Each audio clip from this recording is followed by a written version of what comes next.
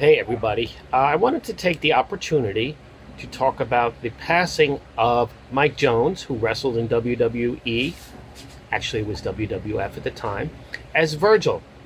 Uh, and for the most part, he was the bodyguard for Ted DiBiase, as most of you know. I'm not going to tell you that he was a great friend of mine or that I even knew him well, but I did meet him one time it was at the annual WPW double shot in the Reading area. And each year we would hold this event in which the afternoon show would be at the same car lot. And then a few hours later, the show would be at the local roller skating rink. In fact, that's the home of my famous dog collar match, which you can watch on YouTube. But enough about me in between, there was a meet and greet because he would bring in some of the, the bigger local names. I mean, that's where I first met King Kong Bundy.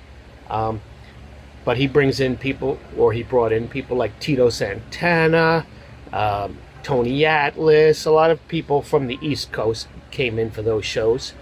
And um, during the, the greet and meet, Virgil, as you see on so many memes, was kind of sitting by himself off to the side. And I felt bad, and I sat down with him and we had a hot dog together. Um, and then all of a sudden we had two and three, and it kind of went into an unofficial hot dog eating contest. And uh, nice enough guy.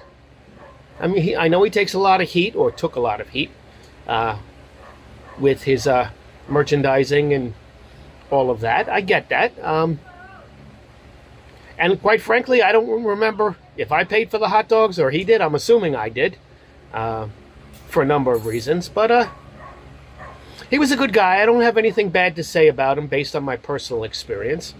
Again, I know he took a beating on social media. I get that. And everyone's entitled to their opinion. But, um, and believe me, if he did something negative to me, I'd be the first to bring it up because I don't believe dying is a pass for poor behavior. A lot of, oh, don't speak ill of the dead. Well, you know what? If, if you were an asshole when you were alive, then I'm just going to speak this, my mind. I'm going to say what I feel. But uh, in this case, I just don't have an example. Um, I met the guy one time. Nice, friendly, funny. And that's my recollection. Recollection. Uh, ruined the whole video with the last word. Isn't it the way? Well, you know what? I'm not going to retake it. Thanks for watching. Rest in peace, Mike Virgil Jones.